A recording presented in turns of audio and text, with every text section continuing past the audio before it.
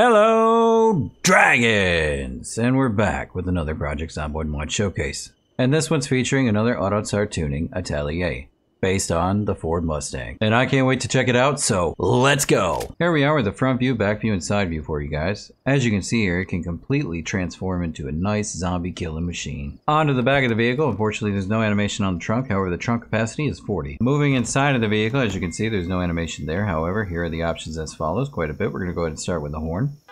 I think that's pretty much standard, but it might not be. Let me know in the comments. Here's the headlights. Boom, boom, boom, boom, boom, boom, boom. Freaking sweet, dude. And if you're wondering, this vehicle is a four-seater. And that there is a standard version of the Ford Mustang.